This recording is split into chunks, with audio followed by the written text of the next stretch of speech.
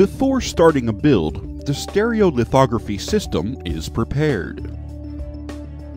The system's vat is first topped off with fresh photopolymer resin to replenish what was consumed in the previous build.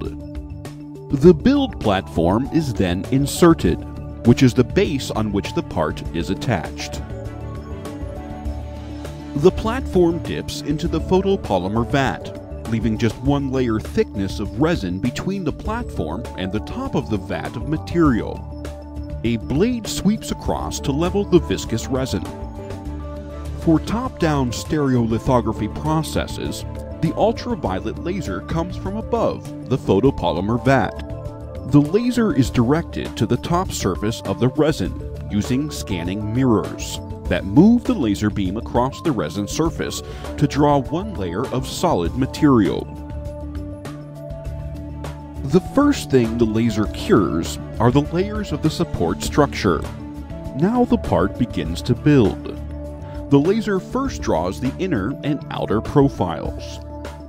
After completing a support layer, the blade sweeps the resin and the process repeats with the laser drawing the next layer. This process repeats until the top of the part is reached. When the entire part is solidified, it will be located below the top surface of the resin. Once completed, the platform rises out of the vat to drain the excess resin and to reveal the completed part.